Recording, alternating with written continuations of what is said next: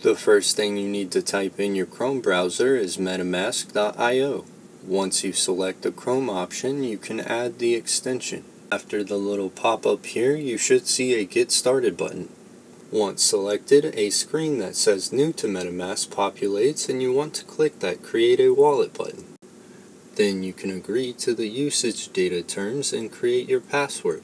Then you just follow the prompts till completion. We sent over some Ethereum from our Coinbase account and now it is time to bridge that to Polygon. Click the three dots and choose Bridge to Polygon. Now enter how much you'd like to convert. To bridge my Ethereum to Polygon comes with about a $36 gas fee. If anyone knows a way around this, please do us all a favor and drop a comment below with the details. Now that your Ethereum has been converted, you're ready to buy an NFT. After you've located the NFT you want, go ahead and click that Buy Now button. Then you'll select Confirm Checkout. And you may see this message since it can take a little time for the recent deposit to settle. Once it settles, you can then click Unlock and sign. You will know the purchase was successful when you see this message. Once you own the NFT, you can make it your profile picture by clicking on the three dots and choosing it from the list of options. If you want to view your settled funds, you can click on the wallet icon in the upper right corner of your screen.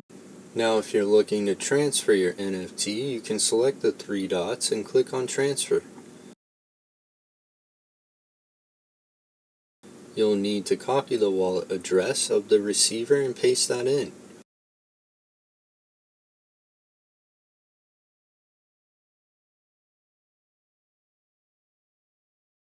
As you can see, we were able to successfully transfer over the NFT to UWR.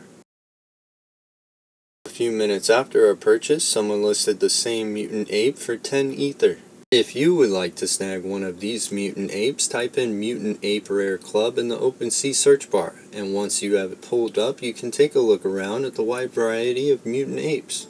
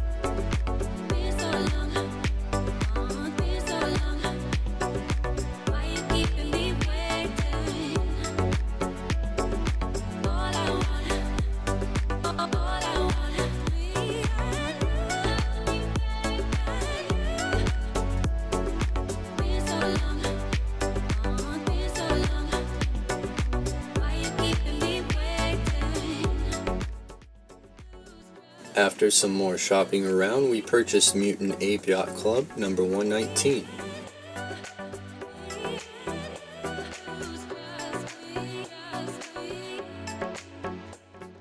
Remember, you can click the three dots and select Transfer to send it to another wallet.